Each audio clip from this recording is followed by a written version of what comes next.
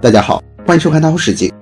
虾皮很多人都爱吃，虾皮含有丰富的蛋白质、矿物质，以及含有虾皮中独有的虾青素等。虾皮的用途很多，可以炒、凉拌、煮汤、做馅等等。我们生活中常常能看到颜色不同的虾皮，大家不知道究竟买哪个好。今天就分享一个关于虾皮的小知识。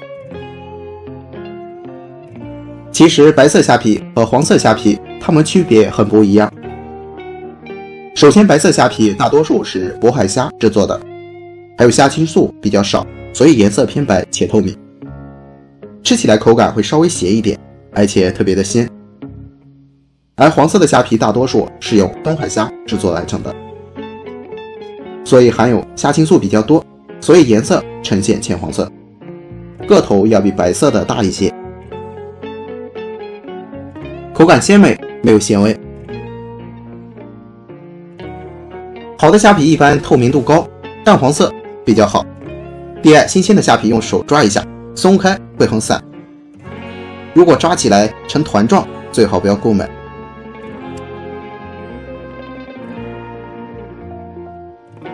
第三，买虾皮的时候也可以放到嘴里尝一下，如果太咸，说明是人工往里面加盐的，这样的虾皮就不建议购买。第四，白色虾皮虽然虾青素比较少，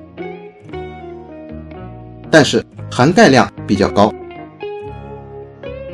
所以需要补钙的话，就购买白色虾皮吃。如果是做馅或者是炒着吃。就买黄色虾皮。